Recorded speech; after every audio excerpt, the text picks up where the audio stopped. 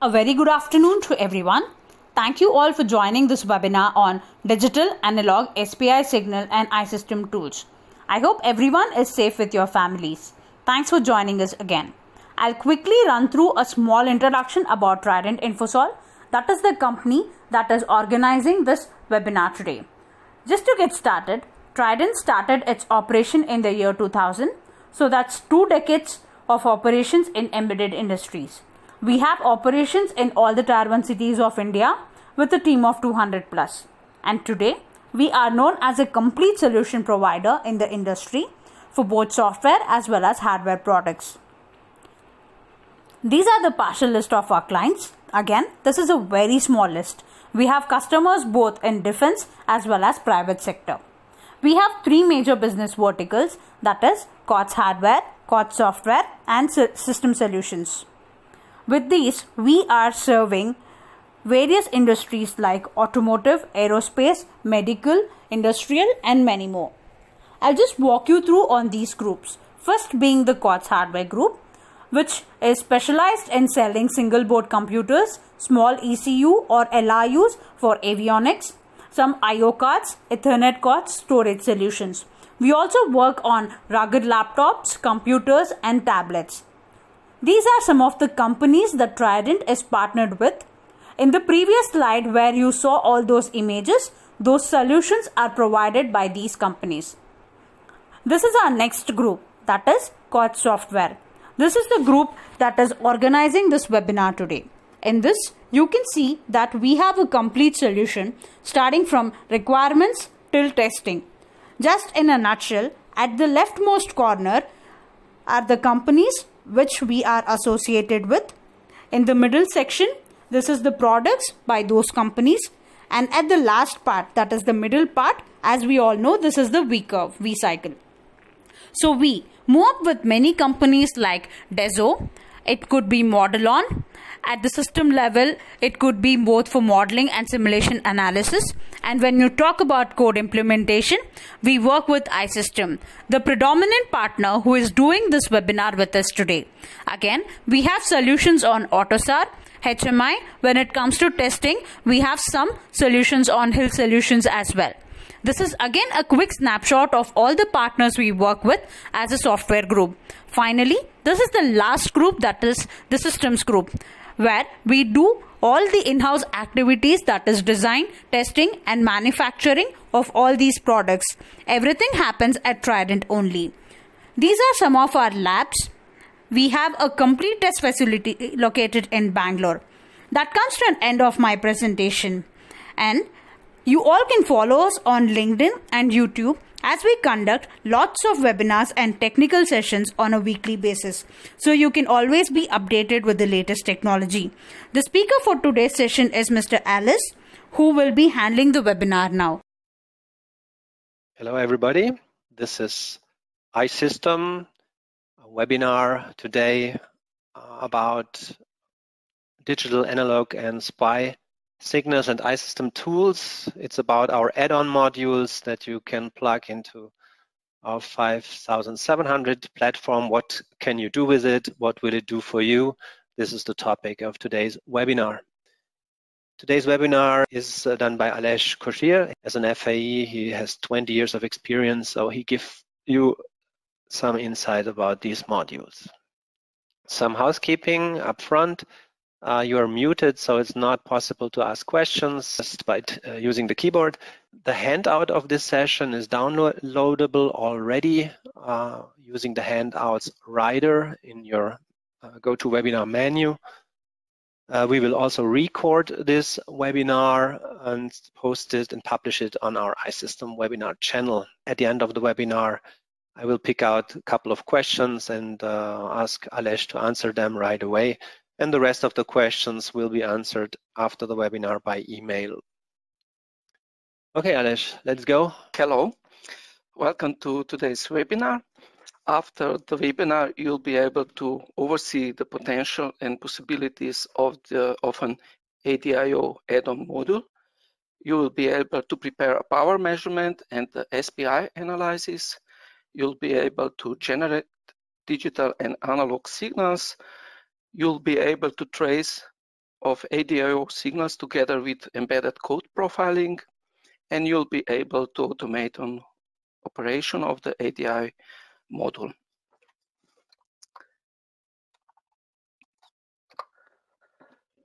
So what is today's agenda?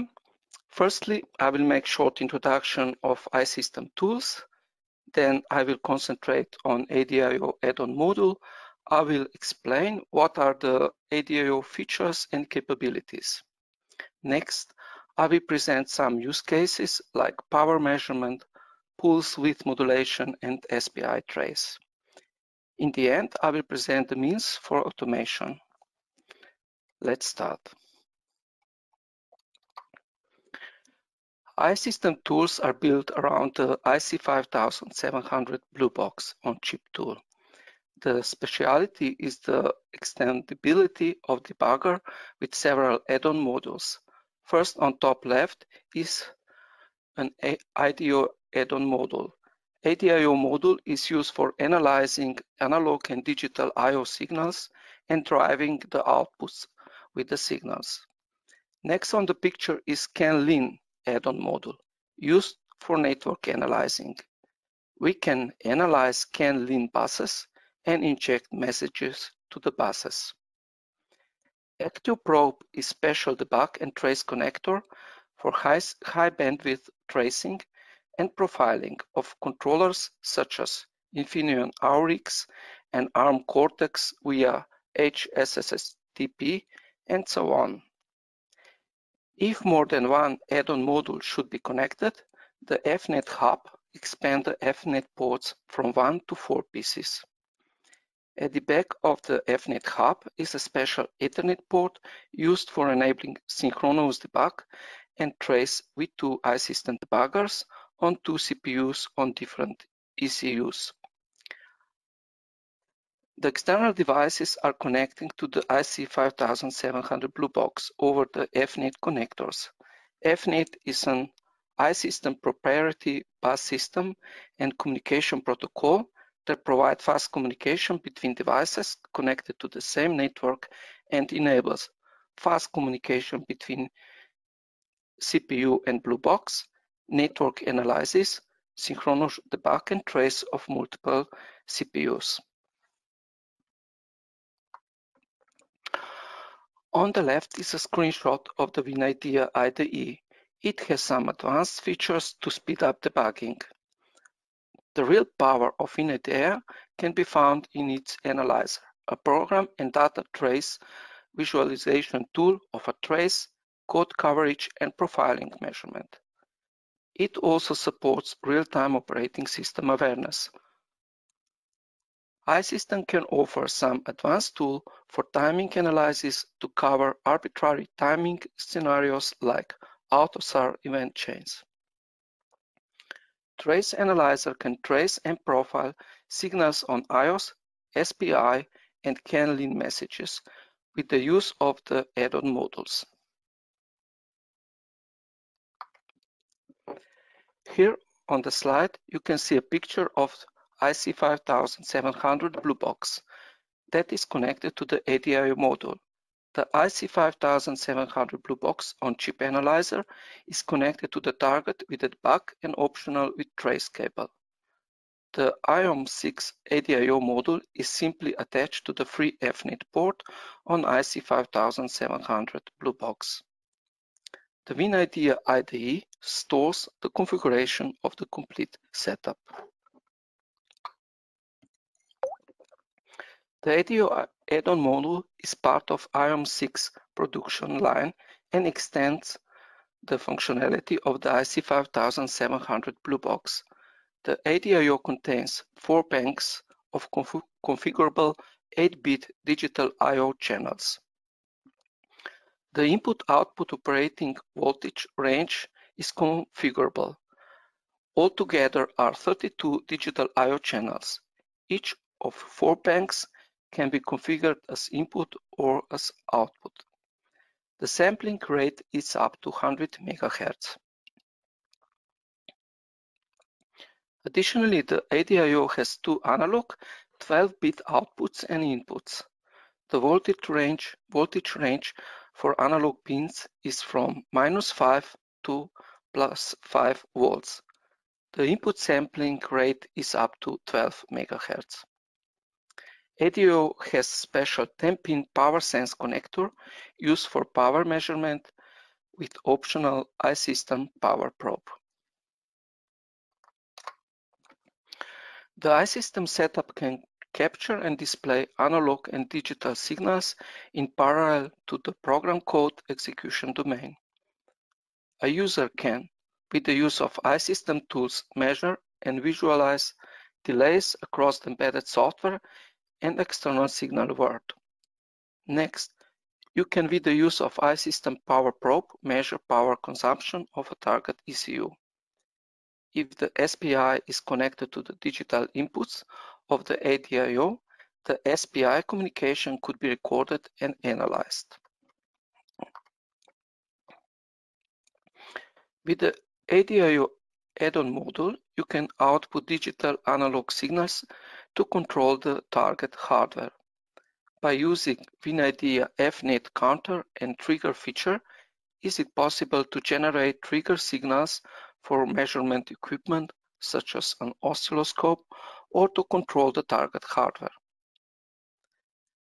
The WinIDEA counter feature can be used for generation of periodical output signals. The iSystem tool can be used for testing and can be fully automated by the using Python API. iSystem FNET communication network consists of devices that are connected to the FNET nodes with the iSystem FNET cables. You can add up to four external FNET devices, such as ADIO, to the system around the IC5700 blue box. The configuration in WinIDEA is flexible and you can reuse stored configuration of FNET devices or create new one. The default name for the ADIO configuration is ADIO, but you can use naming of the configured devices across the system as it suits to your to the best for your use case. The system recognizes currently connected FNET devices after pressing refresh button. After configuration is prepared, the Y represents recognized devices with match stored configuration. At the bottom of the configuration window, you can see the populated available networks. There are two match configuration on this slide for the CAN LIN and ADIO module, with the populated networks for the CAN, LIN, digital I.O. and SPI networks. Also on the list are triggers TC and counter 1. The FNET counters are four independent 32-bit counters that support the FNET operation. They use for the counting time or events. The FNET counters can generate FNET triggers and can be observed in profiler timeline. Here you can see an example of digital I.O. port configuration. the name of digital I.O. network, I.O. signal names could be changed. You can configure the digital I.O. bank of 8-bit pin direction to operate as input or as output. You have a possibility to select the voltage range of the digital I.O. bank from 1.8 volts to up to 5 volts. Also, the initial state of outputs can be set. Every port display can be disabled or enabled. Likewise, the analog inputs and outputs could be configured. You can change the names of analog input and output networks. Names of analog signals can be changed. Also, the initial state of the outputs can be set. The analog inputs could be multiplied if the input, inputs are divided. Every pin can have display enabled or disabled. Also, a power measurement with a power probe can be configured. In that case, both analog inputs are used only for the power measurement. After the change after the changes are stored and downloaded is performed, you will be able to access and use configured ADIO features. With the next slide, the power measurement feature will be presented. iSystem provides power probe featuring a shunt resistor and different connection possibilities for connecting an ECU. With this, it's quick and easy measuring power consumption on, the, on an ECU. The iSystem Power Probe is provided together with a ribbon cable that connects the power probe signals together with the ADIO Power Sense connector. A, a, customer needs only to supply electrical cable providing the electricity from the electrical source. The image on the left explains how the power consumption can be measured with two analog inputs in respect to the ADIO. When measuring power, it is necessary that both the voltage and current are measured in the same time. A shunt is a low value resistor connected in series to the load. The current through the shunt is measured by measuring the voltage drop on the shunt resistor and the power is then calculated with the presented formula. The ribbon connector connects all the signals from the power probe directly all together to the ADIO power sense connector, so no need for additional wire connection for the measuring power are needed. Several shunt resistor values are supported according to the current value. The maximum current could be up to 2.5 amperes. Also, the input voltage range is selectable up to maximum 20 volts. The WinIDEA later displays a current power value in the HIL monitor.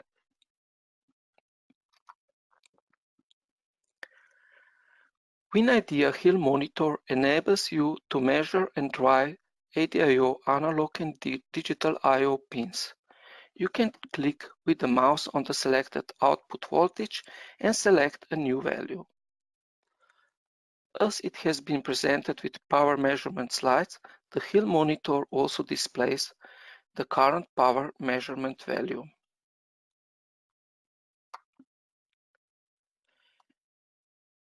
It's possible to read and modify ADIO pins with the use of iSystem Connect and iSystem FNet API as well. On the right, it is displayed a short Python script. The iSystem Connect API is used to write and read digital and analog I.O. pin output pins on the ADIO. With the script, we can automate the ADIO operation. Using WinIDEA Watch window is another option to display the values of the ADIO pins. The watch window can be configured for real-time access. Also, the ADIO output pins can be modified with the use of the watch window. For profiling of target signals, you need to configure the analyzer by adding network area in profiler settings. You can select among the available ADIO networks that are configured, configured and enabled for profiling recording. You need to prepare FNet and network configuration for needed ADIO signals before you can configure the analyzer for recording network messages. ADIO networks will become available for selection once the configuration is complete and applied by performing a download. Also, additional program, data, and OS objects could be selected for profiling together with the ADIO network objects. After the analyzer recording is finished, we can analyze the profiler timeline with the network objects. There are ADIO signal capture along with the data and program recordings, if enabled. Later, we can use iSystem inspectors in order to perform different analyses, for instance, propagation delays and event chain analysis.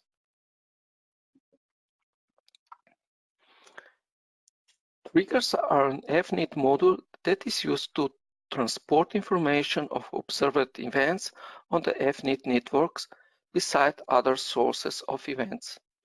The IC5000 blue box can react to observed events by creating an action. For instance, an event on the ADIO input can trigger generation of the signal on the output. Number of generated trigger events can be monitored in HIL Monitor, as well recorded triggers and actions can be observed in Profiler timeline. WinIDEA provides up to 10 trigger channels. Three of them are predefined. Trace trigger is used to signal the trigger in the trace analyzer. Run sync and stop sync triggers are used when, the, when two IC5700 blue boxes are configured for synchronized debugging. Other seven triggers from TC4 to TC10 are available for the user. In this example, change of two ADIO inputs is used to trigger a generation of a signal on the output.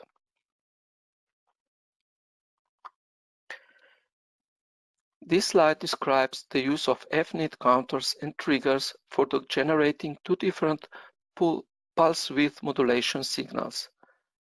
The basic principle is that one of the counters counts the whole period when at the end it generates the trigger signal. The first, the first counter immediately restarts counting. Another counter counts the shorter period up to where the switch from the on to off or from off to on period of pulse width modulation occurs. The other counter remains stopped until the trigger from the first counter restarts its counting. Additionally, both triggers are used to drive signal on selected output ADIO digital pin. Since there are four FNet counters available, you can generate two independent pulse width modulation signals. On this slide, you can see profiler timeline of generated pulse width modulation signals together with embedded code. Also, another digital signals and trigger events are presented. With the use of iSystem FNet API, you can automate operation and configuration of counters, triggers, and operation of an ADIO module. The Serial Peripheral Interface, SPI or SPI, is a synchronous serial communication interface specific specification used for the short distance communication, primarily in embedded systems. There are four SPI interface signals. Master input slave output, master output slave input, serial clock, and chip select or slave select signal. Information is transferred between master and slave on defined clock. Active state on chip select, low or high is, is selectable. An additional SPI protocol analyzer is available for easy monitoring of two SPI interfaces with, within the embedded system, either alone or in conjunction with the program execution. SPI protocol analyzer modules SPI1 and SPI2 are by default disabled because they consume digital I.O. banks. If SPI1 is enabled, it consumes digital I.O. bank 0, and if SPI2 is enabled, it consumes digital I.O. bank 2. The SPI protocol format is described by the, by the iSystem Description and SPI message description file. A SPI communication protocol and message description files are, an X, are XML files, which must comply to XML schema. iSystem provide templates and documentation for these description files. You need to add an ADIO SPI configuration window, a SPI protocol and message description file.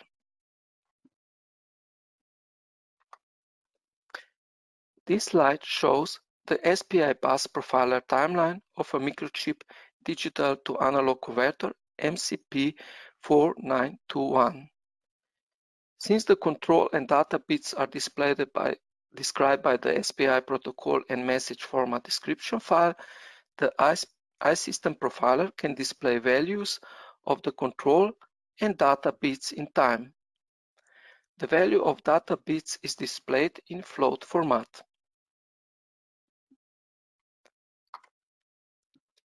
iSystem FNet API provides access to WinIDEA function, functions which control the FNet devices. This API is currently supported for C++ and Python. With the iSystem FNet API, you can automate generation of signals on ADIO output pins, readout of signals on ADIO pins, you can automate configuration and operation of SPI analysis and power measurement, as well as configuration and operation of FNet counters and triggers.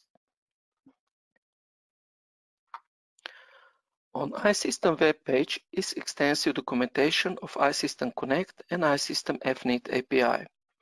You can find documentation of classes and controllers. There are also numerous example scripts. Links are provided on this slide.